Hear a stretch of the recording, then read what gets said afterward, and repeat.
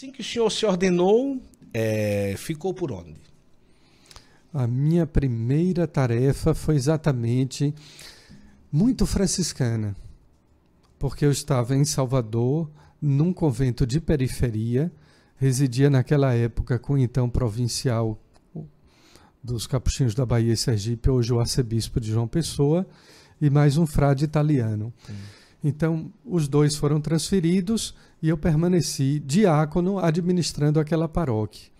E acumulando, depois de padre, um serviço muito franciscano, que está muito próximo da nossa espiritualidade franciscana. Eu fui capelão de leprosos de um leprosário em Salvador durante cerca de dois anos. Dei continuidade ao serviço que os capuchinhos prestavam ali. E para mim foi uma riquíssima experiência. Ser pároco na periferia e ser capelão de um leprosário. Leprosário é, que cuida ou eles moram lá? Naquela época era uma colônia. Hoje não existem mais colônias de rancenianos. Certo. Apesar disso, apesar também dos remédios, e aqui a gente faz o parênteses de utilidade pública de saúde, não é? É a detectar, diagnosticar a hanseníase é uma coisa muito básica. Aplicar o medicamento também é facílimo, porque aí se evita tantas outras consequências. O que as pessoas não sabem no Brasil é que a hanseníase tem força total. Existem muitas pessoas contaminadas, muitas pessoas doentes. Então, esse momento aqui é, uhum. é de espiritualidade, mas é também sim, de informação. Sim, sim. Então, vale a pena a gente ficar atento. Então, nesse caso, naquela época, é, eles não moravam lá. Moravam. moravam sim. Era uma, colônia, colônia, que eles moravam sim, lá.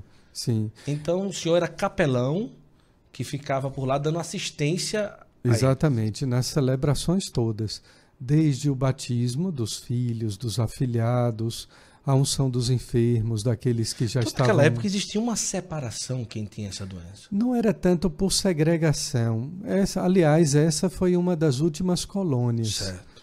no Brasil. Se chamava Colônia Rodrigo de Menezes, certo. no bairro de Águas Claras, em Salvador.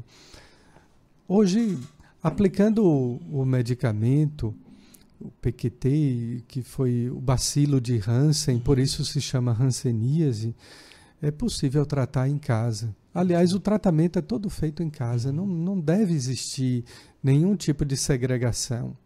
Não há uma contaminação como a gente pensa, não é? Embora pensasse eu, com muita ingenuidade e certa preocupação, como seriam as missas em que eu faria o abraço da paz Eita. a esses aí. E aí me vinha em mente a recordação, a lembrança de quando São Francisco se encontrou com o leproso e o beijou, não é? Hoje o leproso que a gente tem que beijar não é aquele que tem a ranceníase. São muitos outros leprosos na sociedade, leprosos do egoísmo, leprosos de ideologias, leprosos sem fé, que se recusam a ter Deus como horizonte da sua vida. São esses os leprosos de hoje que a gente tem que acolher, beijar, amar e perdoar. Dois anos deve ter sido uma experiência maravilhosa. O que é que eles falavam nos confessionários, nas conversas, na direção espiritual? Mas que coisa, né? Querer saber sigilo de confissão. Não, não, não. O senhor, o senhor entendeu bem, né? É, no contexto geral, eles se sentiam assim. Não. Sim, é uma, foi um toque de brincadeira para poder claro, a gente claro, descontrair. Claro, Mas eu posso me recordar aqui, pelo menos, de um exemplo. Havia um desses pacientes que moravam lá, ele tocava violão. Hum. Mesmo com os toquinhos do dedo. Ah, porque já tinha. Já tinha perdido as pontas já do tinha dedo. necrosado os dedos. Sim.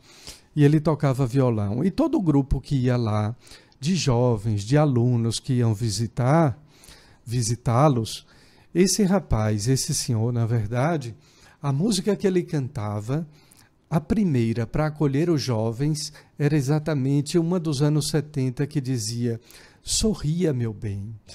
Para que chorar, meu bem? E sempre que eu o via e o ouvia cantar isso, eu me comovia. Porque os jovens tinham tudo. E aquele homem não tinha nariz, não tinha orelha, não tinha dedo, mas cantava e tocava para dizer: sorria, meu bem, vocês têm tudo.